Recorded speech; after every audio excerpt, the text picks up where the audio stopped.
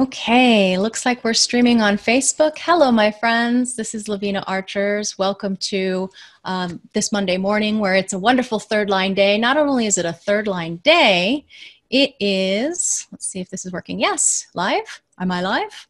Oh, my desktop screening, screening share is paused. There we go. So you should be able to see my screen now. Can you see uh, the just now chart that's in right in front of me? Just go ahead and type into the chat, yes, if you can see it. And uh, that way I can know that you're here, that you're looking at this screen, uh, so that I can make sure that this is all working. Because you never know on a third line day. Third line days are great for trial and error, for figuring out what doesn't work, particularly on the material plane, for bonds made and broken. You see it? Okay, thanks, Tara. So um, it is the first business day of daylight savings time. And uh, some people are a couple people are here in the group with me but most of you got the email as far as our projector success secrets that that class is going to be in an hour. So i'm just going to do a brief transit report for those people who showed up.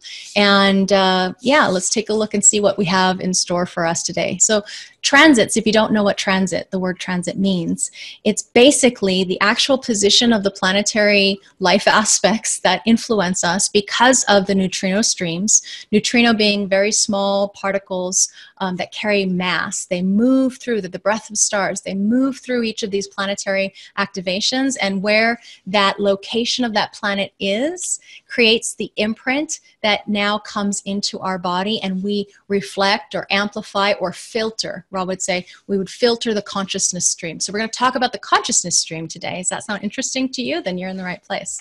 So today we're looking at a third line day. Like I was mentioning just a moment ago, third line, so there's where the line is, and I'm being very basic because this is going into the Human Design System Facebook group as a live stream. So, welcome to those of you who are there. Hi, happy third line day. Did you make a mistake today? Did you spill your coffee all over the desk? Did you bump into things? Did you make a, um, oops? so, the third line, what's the most important thing to remember when there's third line activations is it is a day for experience the actual experience or experimentation on the physical material plane can lead to a lot of learning and discovery, potentially growth. So, what you want to do if you have strong three activations in your design, you can learn what doesn't work on the material plane. Now, if you don't, on third line days, you get to experience what us threes do all the time, and that is what doesn't work on the material plane. I was just talking about this with a group of um, Rave ABCers that finished up today when we are talking about line um, aspects, the lines of the Rave I Ching. And the most important thing to remember for threes is to learn what doesn't work and to actually exalt that. And we don't do that in our society, do you? We, us, in the general homogenized population, it's, oh no, we don't want to make mistakes let's cover that up. Let's not do that. Let's not talk about what we're pessimistic about or what didn't work. We only want to exalt what does work. Show me the millionaire. Show me the person who's really succeeded. Show me that. Don't show me the downtrodden and the people who are still in the trenches trying to duke it out trying to figure out what works on the material plane. We exalt. We want to see the success stories don't we? So on third line days just recognize. And for any of you who are raising third line children please remember to ask them what did you learn? The most important thing to remember is what did you learn? And it's interesting um, that i'm speaking to you right now here on today's 22 so there's the sun in gate 22 and we also have neptune in gate 22. So Neptune is what's hidden from us. It's our illusion, art, spirituality. The sun is the core essence. So what we're experiencing is this possible expression of awareness okay so this if you have a defined solar plexus here's the emotional intelligence function right here if you have it defined and that 22 comes in now there's an influence on you to hear really be open to gate of openness gate of grace be open to hearing what people want. You might be socially open today. Now, maybe in your design, you've got a 12 on the other side. Whatever planetary aspect that happens to be is going to color how you experience this voice of caution in your life. So, this is the voice that says, I know, I can, I can try. I'm in the mood to try. I'm in the mood to converse. This is the only social channel, and it is the creative channel, the creative channel of all of individual circuitry. Individual circuitry being more about the individual and not necessarily about getting that message out into the world. But if you've ever listened to Ra Uru Hu, who had the 12, you can hear that lyrical quality in the voice. You can hear that powerful mutation. The rest of his design was very mutative and individual as well. But to be able to actually change the perspective of how the collective experiences and knows about itself in the world, that's this channel. This channel that is um, be able to be social or not. Channel of openness, a design of social or antisocial being. So if you've got the 12 and now here comes the transit, perhaps you experience this I'm in the mood to try.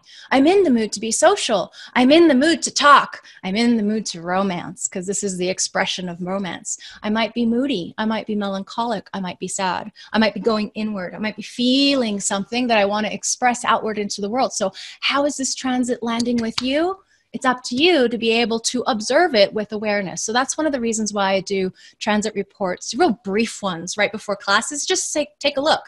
What is going on today? What is the thematic of the day? So, the thematic of the day you're going to find either here in mybodygraph.com, you go to the My Body Graphs portion at this moment we're revamping it so we're going to make it a little bit different but you go there you click on new just now and you're going to find just now and it, it updates automatically so when i click on it it opens up the little informational window panel here on the right hand side but when i close that part here's the transit tool and you can see what how look at that moon how quickly it moves through the gate activations but you can see also what else is going on and when it's going to shift Okay, so I just talked real briefly about one aspect. This is the gate that gives us a fear of silence. Is anybody going to pay attention to me? Does anybody want to listen to what I have to say? Or maybe um, a deep, deep sadness about not being able to express what we have held deeply in the you know, our heart of hearts, you could say, in the in the deep, passionate romance melancholy, the splendor of melancholy that lives within us. and it's funny that I'm making the splendor of melancholy, putting those two words together. That's kind of the lyrical, poetical quality of this energy because it's deeply, deeply personal. And it's this movement of energy that wants to express because this is an expression trait up here, says the 12, the voice that says, I know, I can try, I'm in the mood. Let me romance you. I'm in the mood to converse with you. And here comes the 22 that says, I'm open. I'm open to hearing what you really want over time in that pulse of existence. So that's 22. Now, I went here, 60, so why don't we go there next? The gate 60 is in Saturn right now. So Saturn is our correct discipline or limitation. If we're not obeying our own law, Saturn is where we get kicked in the butt. So right now, Saturn is exalted. You can see that little arrow pointing up means it's exalted. Let's see why that is. Let's click on that little button here. Okay, because Saturn is what exalts it. Do you see that? Do you see how there's a little Saturn right there and the exaltation? So this is the energy to maintain identity and security despite limitations. Gate 60 is the gate of limitations. So it's the pressure to find order in life. It's the pressure or the drive to mutate because this is part of the channel of mutation. So Saturn is bringing some, some discipline, some correct limitations, some conservatism, third line, into our ability to maintain our identity and our security despite the limitations, gate of limitation in the root center, giving us drive to evolve. Now, where are we going to go next? Ah, I want to go up to 61. And why I'm going up to 61 is because of, and let me just erase this, get clean again. 61 is also part of individuality. And you can see that Pluto is up there, okay? Pluto, our truth, transformation, and psychology. And then also Jupiter. Jupiter is in the line of occult knowledge right now, where this is the gate of mystery. And 61 says, occult knowledge. Have you noticed? You want to go and study things. Yeah, there's a pressure to go inward and discover the truth of it all. Why am I here?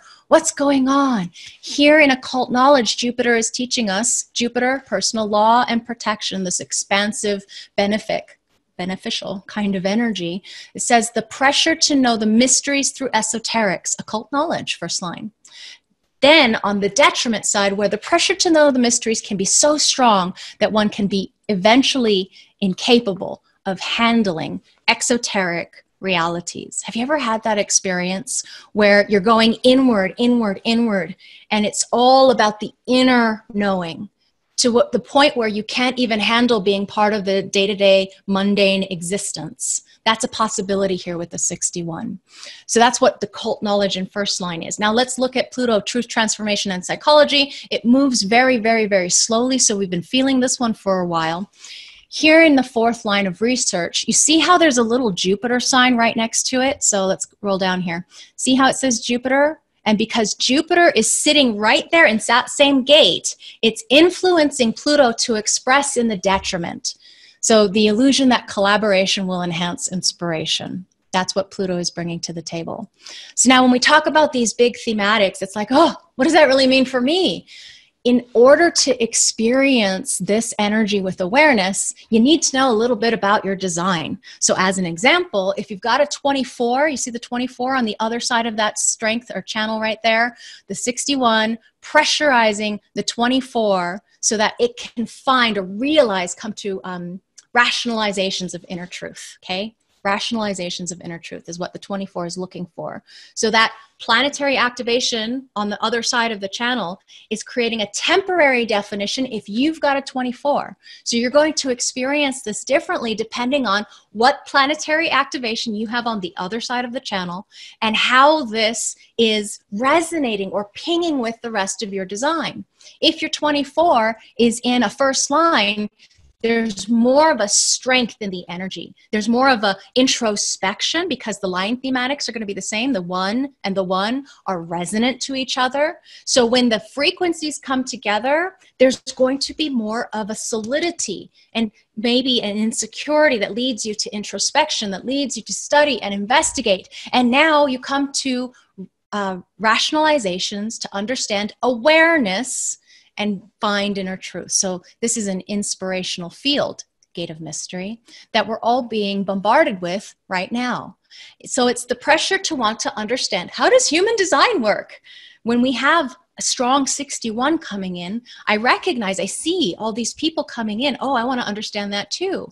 There's a lot of people in design that have 61. Is do you have 61? Hi, I've got 61. 61 in line three in my moon, my conscious driving force. So I've actually got Pluto and Jupiter hanging out up there on top of my conscious moon. So there's been a lot of transformation in my life. How about you?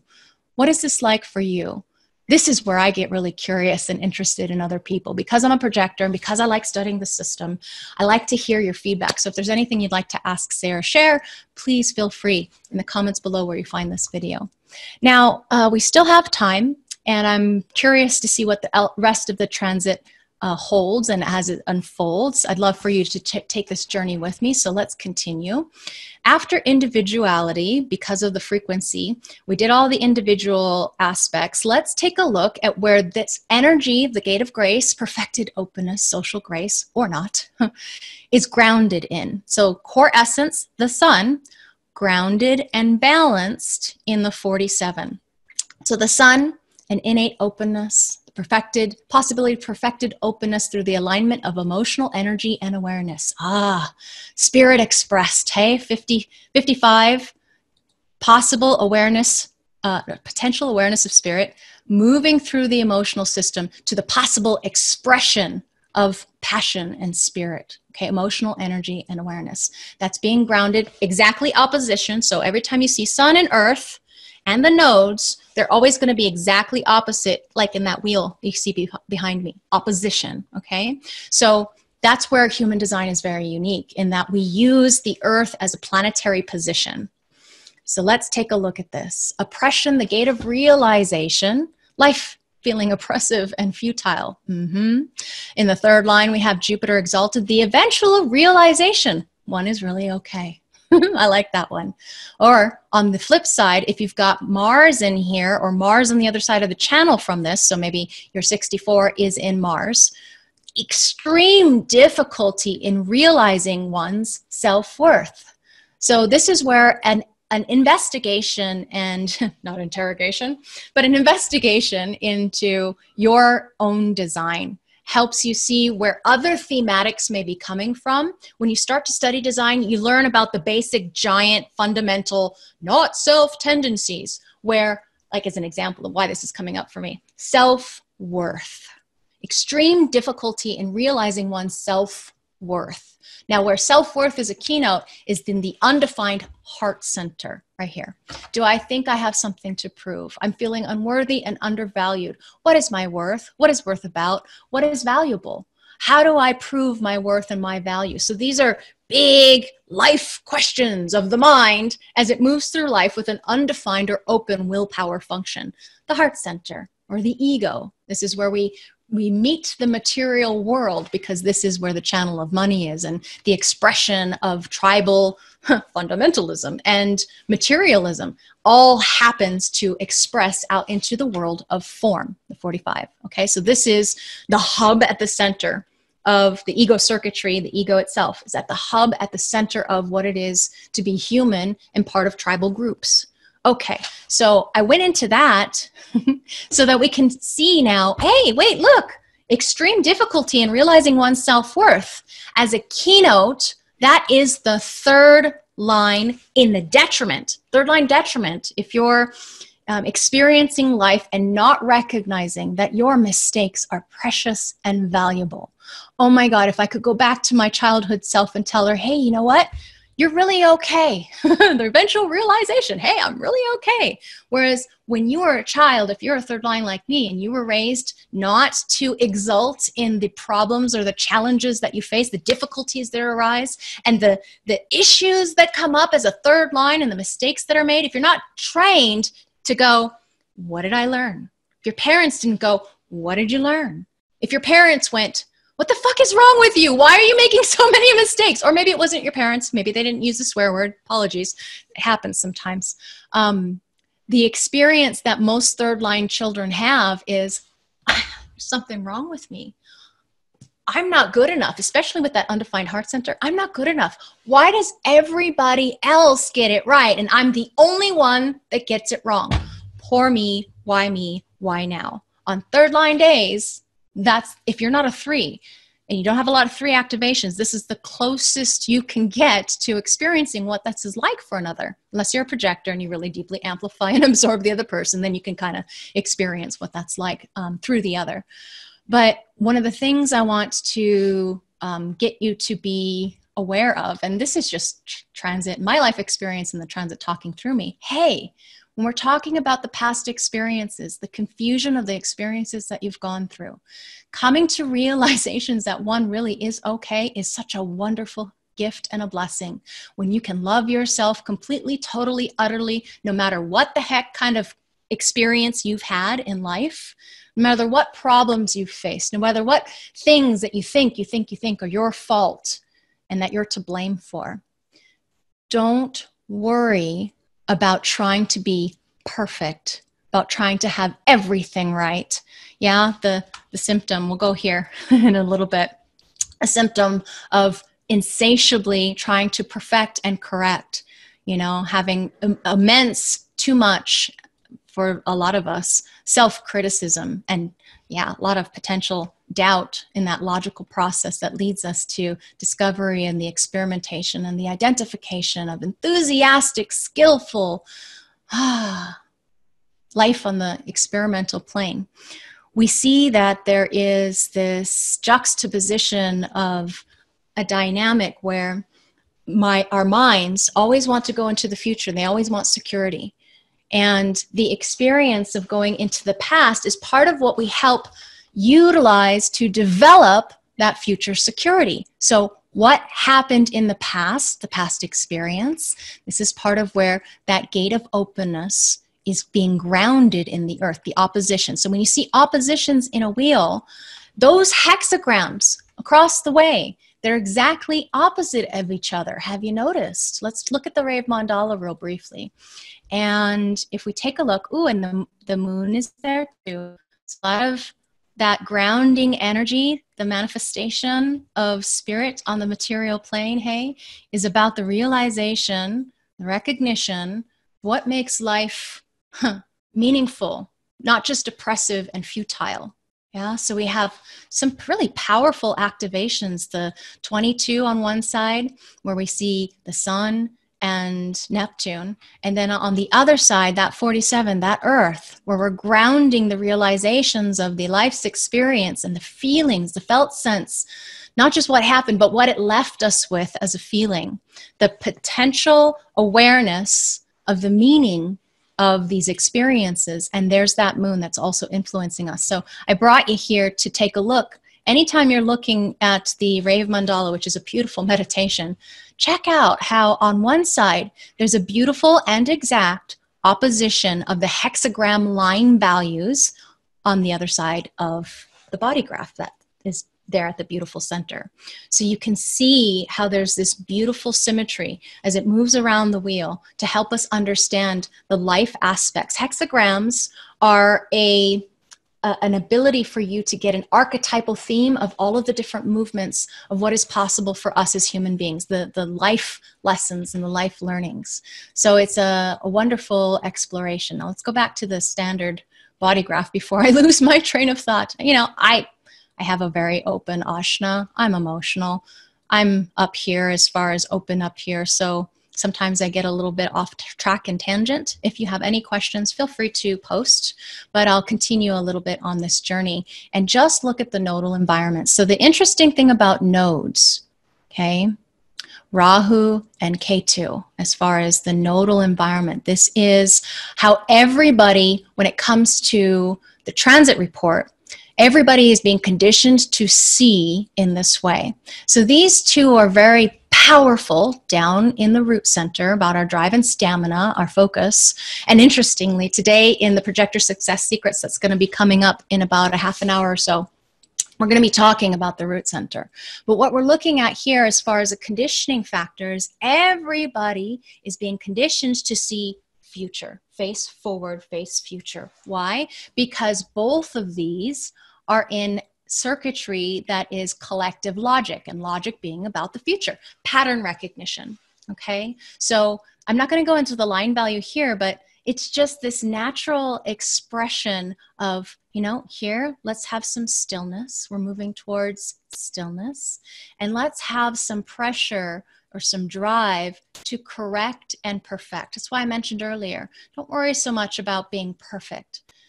Yeah, not it's uh, there's this commonality and i don't like to go into memes but this one i like a bit. Progress not perfection. Not all of us are, are designed to make progress quickly or consistency. In fact inconsistently in fact a bunch of us are inconsistent or you know sporadic in the progress that we make because there are only so many of us that have energy directly connected up to the throat communication, action, metamorphosis.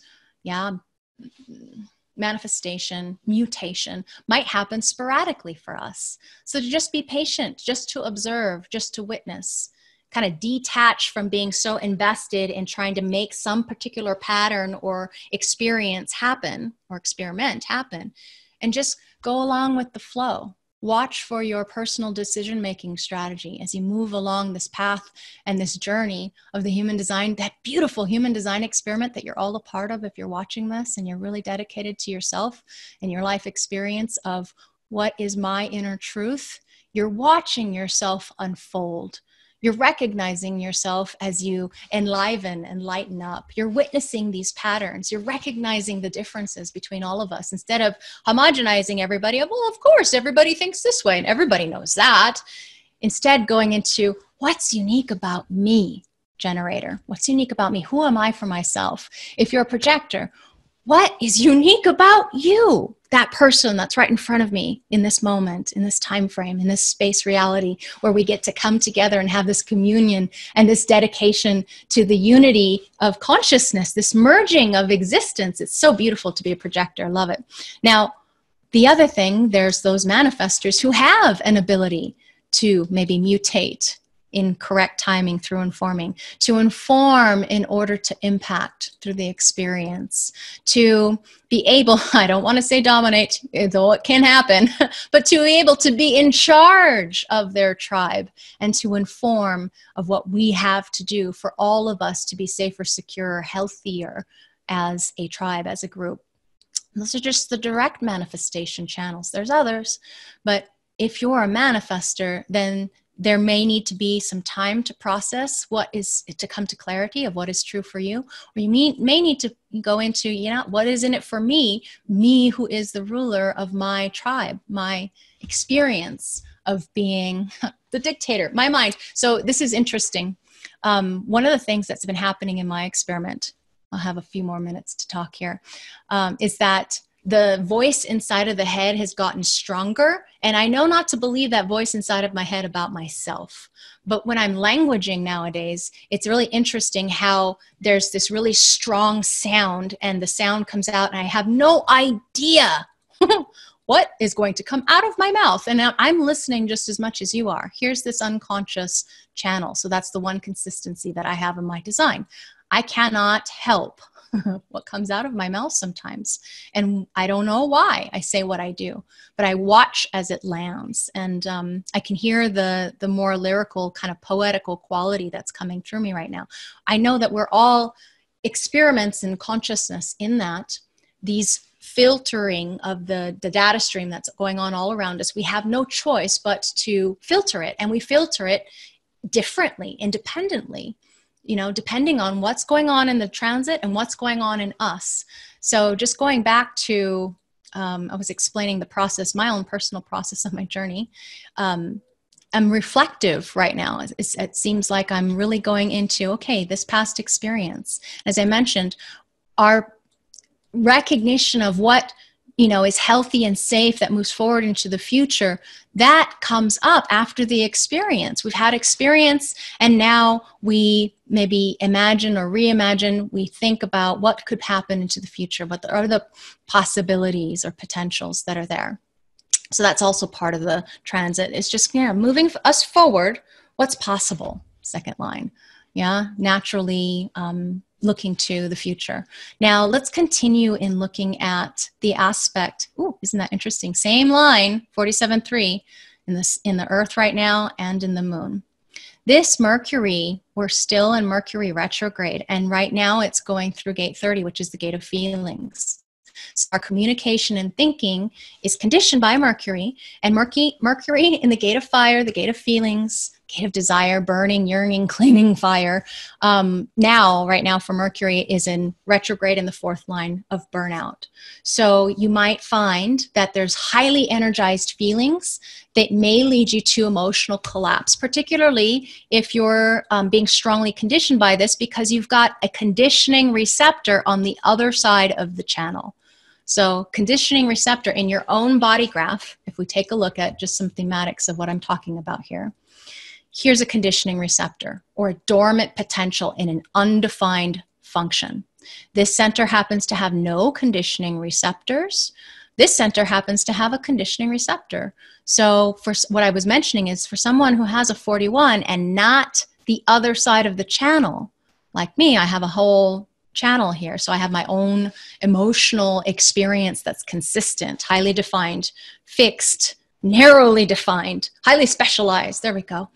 But for you, if you have an undefined root center and maybe even an undefined emotional system, this Mercury going through the emotional system might have been wreaking havoc with you. Have you had a burnout experience lately? Are you feeling, you know, that gate of feeling, that gate of desire, that gate of fate? Have you been feeling like, you know, unrealistic pace maybe right now? Let me get that line value again uncontrollable feelings and accompanying un or emotional outbursts if you have a Jupiter on the other side.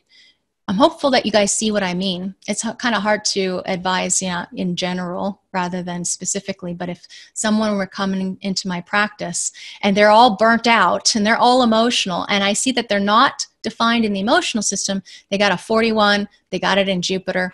Are they experiencing uncontrollable feelings and accompanying uh, emotional outbursts That's part of what they're here to learn about. It's part of their learning and true wisdom potential. So, when I say true wisdom potential, if you have a totally open center, yeah, anything that's totally open in your design.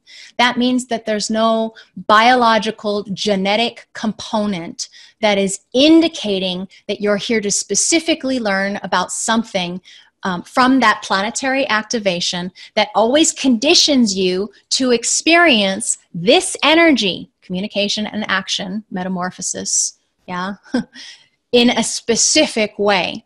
Because here, I'll go into my example as a body graph. Here, true wisdom, no specific hook into particular concepts or ideas, not needing to be rigid or fixed about the opinions or the answers or the rationalizations or the realizations or the insights, being able to be open and flexible. That's true wisdom. Now, specific wisdom that is coming from a specific activation in your body graph is a place where you're always learning about, in this line context, Venus, um, powerlessness or a lack of control. On the other side, being in control in right timing through recognition invitation as a projector with emotional clarity, being in control.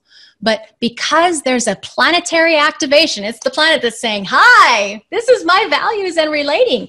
I need to be in control. Are you okay with me being in control? Says the planet when it's in relational context to that other one. Hi, there's my husband. So I'm learning true wisdom about people who are 45s, but I'm learning specific wisdom about people who are my interactions with people who are wanting control or not, or de- me demonstrating how to be in control. And here, what is it control about?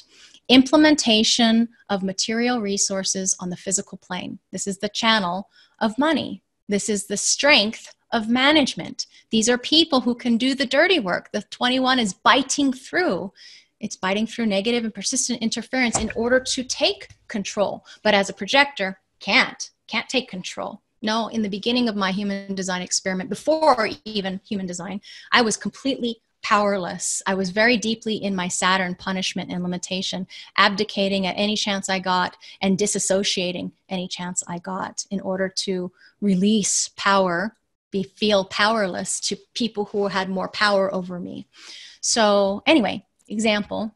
I I digress. Let's go back to our. Uh, let's see. Yeah, I still have time. Back to our planetary activations for the moment, and we talked about Mercury in retrograde, where it's about feelings. Now, let's talk a little bit about Venus. And actually, Venus and Uranus are dancing together in the same gate.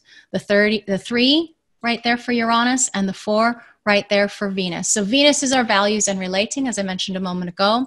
And Uranus is something unusual. So there's chaos, innovation, experimentation with Uranus.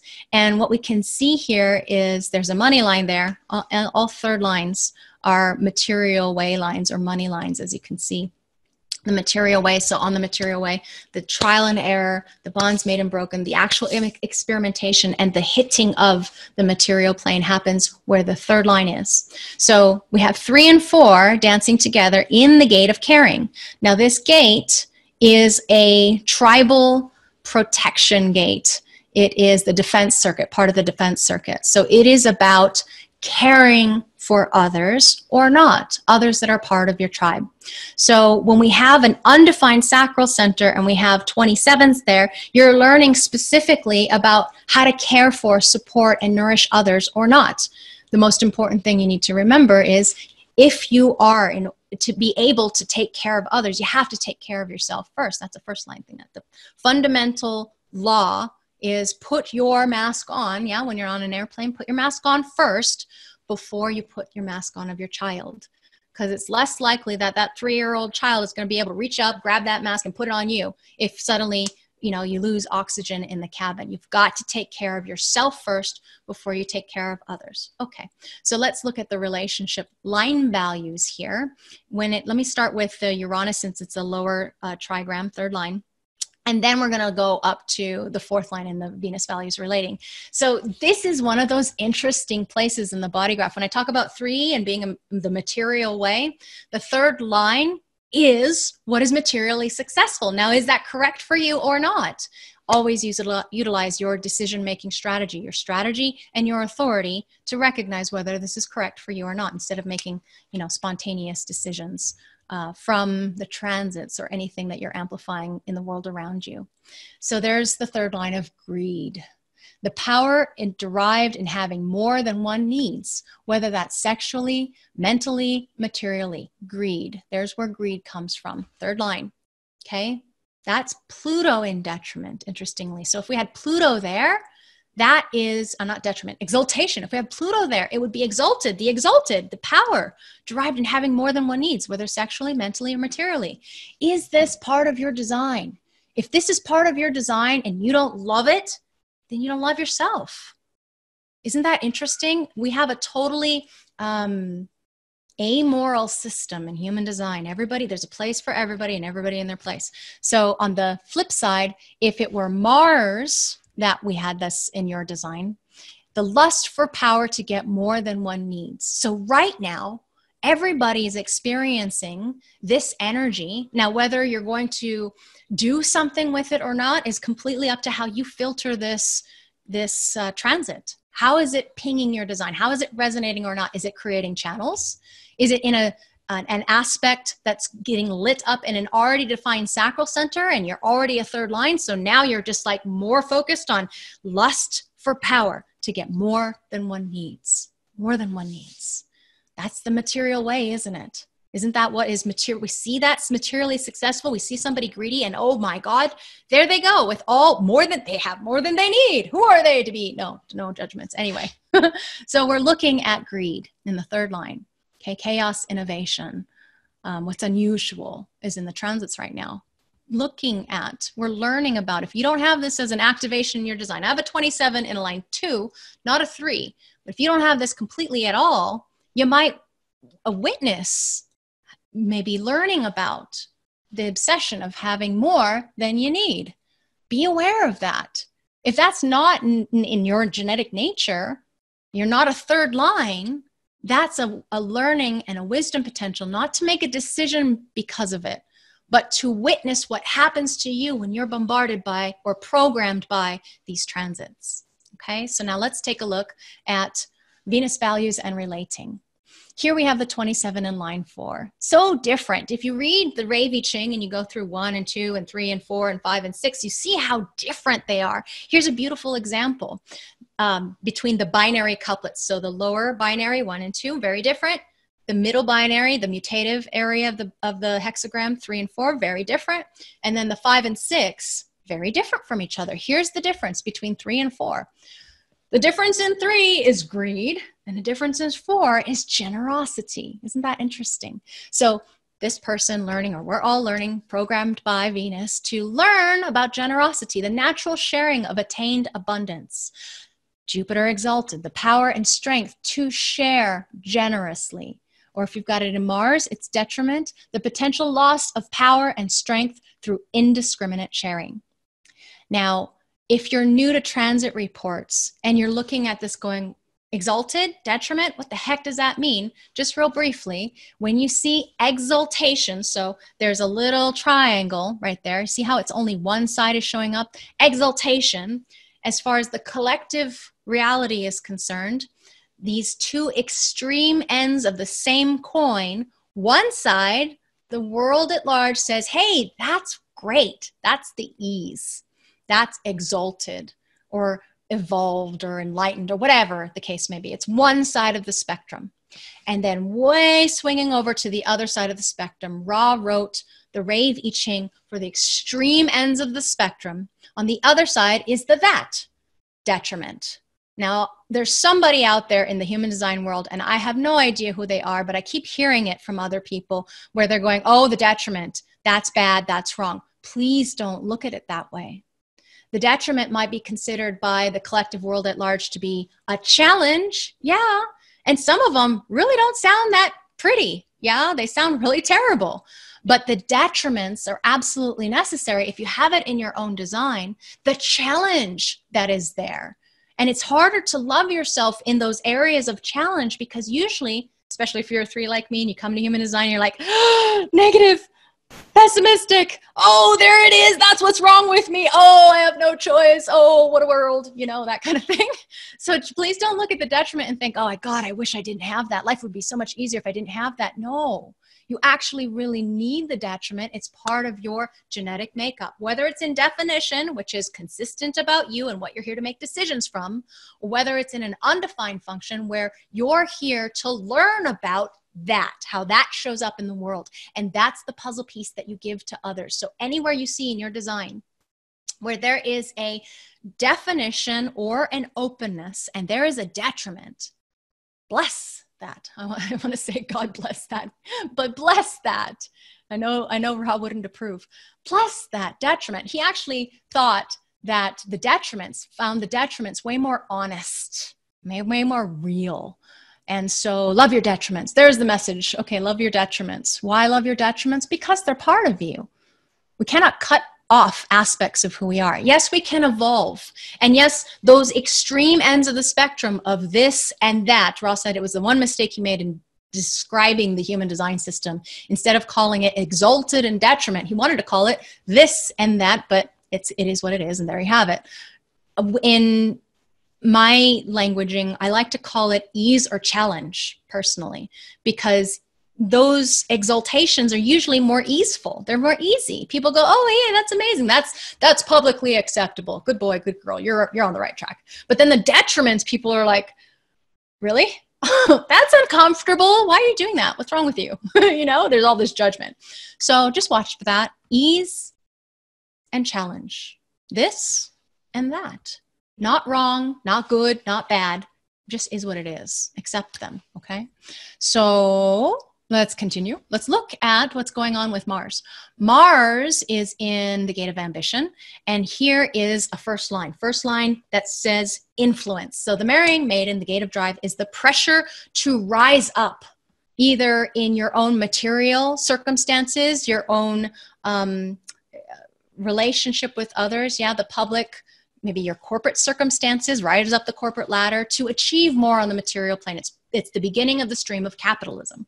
So here with the first line, ambition energized through secret relationships which fuel influence. Have you seen? Have you noticed? Secret relationships. Hey, first line, energized here in fueling secret relationships which will fuel influence that's part of the design. And then on the flip side, we have that was Pluto exalted. Here we have um, Venus in detriment, ambition, which demands formal recognition, and that can limit it, limit influence. So just of this and of that, but this is the pressure again to rise up, to transform one's physical, material circumstances. And this is not selfish or self centered. This is not individual. This is for the tribe. So it's like, my ambition, I'm not a 54, but I'm speaking as a 54 now. My ambition is so that I can bring up my tribe with me, whoever my tribe happens to be, whether it be your family that you identify with, whether it be your business family that you identify with, whether it be your high human design family that you identify with. This is what we're driven up to, to transform, to rise up. I find so many people, this is another place in human design, might be a lot of my design because I have a 32 and a 42, but I find so many people who either have the 54 or the 53 or the whole channel in human design because it's powerfully transformative, powerfully transformative. So we talked about everything else here. We're done with looking at the transit report.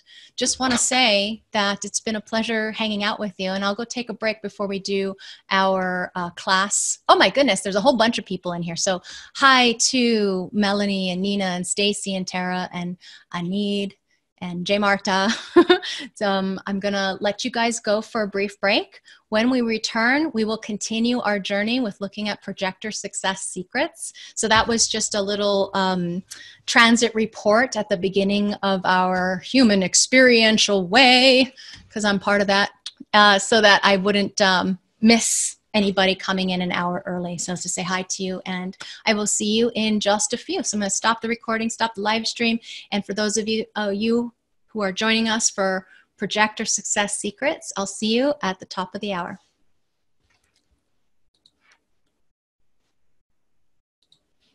If I can find the end button. Oh, there we go. yes.